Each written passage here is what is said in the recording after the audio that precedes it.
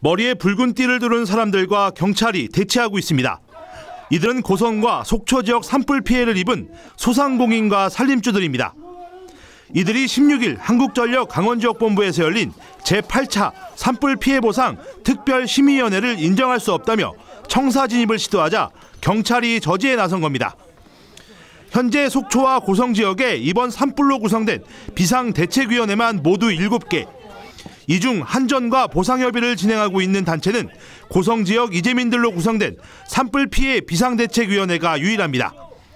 이날 집회에 나선 소상공인들과 산림조 등으로 구성된 4개 비대위 연합은 주택을 제외한 추가 피해에 대한 보상안은 전혀 반영되지 않았다고 주장했습니다.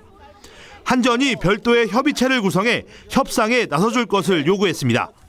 지금과 같이 비주택자 이분들만큼은 협상 자체가 달라져야 되기 때문에 성격 자체, 자체가 다르지 않습니까? 그 성격 자체가 다른 걸 다른 포지션에서 달리 협상 테이블이 만들어져야 된다는 얘기예요. 이번 회의에서 한전 측은 지난 7차 회의에서 제시한 전체 피해액의 60%를 고수한 것으로 알려졌습니다. 최초 한전이 제시한 보상률보다는 두 배 넘게 늘었습니다. 전체 피해액 1,200억 원에 이미 정부로부터 지급받은 보상을 뺀 나머지 부분만 지급하겠다는 겁니다. 하지만 고성피해대책위원회가 이를 받아들이지 않아 소득 없이 끝났습니다. 고성 산불 피해에 대한 보상률 협상만 7개월째, 산불 피해 단체별로 입장이 엇갈리면서 또 다른 갈등으로 번지고 있습니다. 헬로티비 뉴스 장진철입니다.